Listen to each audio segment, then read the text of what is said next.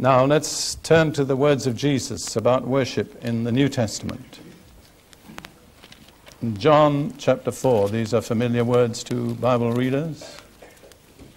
John, the fourth chapter.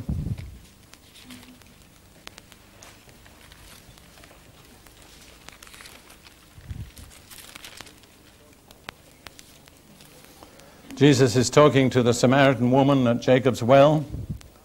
Without going into the background, he says, But the hour is coming, and now is, when the true worshippers will worship the Father in spirit and truth, for the Father is seeking such to worship him.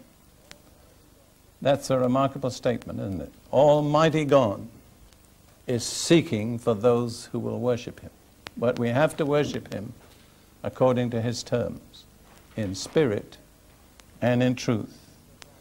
And then Jesus goes on in the next verse God is spirit, and those who worship him must worship in spirit and in truth.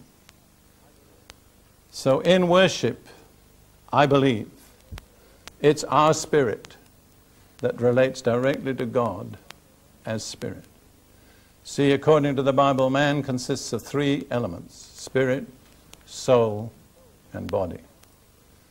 I think our soul is very active in praise and thanksgiving. But when it comes to worship, then it's our spirit in direct communion with God's Spirit.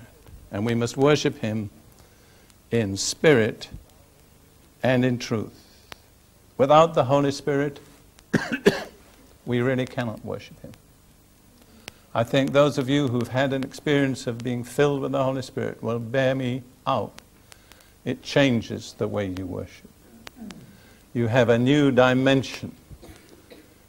Uh, that doesn't make us perfect or superior to other people, but it, it does release something in us that makes us capable of appreciating what worship ought to be. But it also says in truth. And truth, I believe, requires sincerity.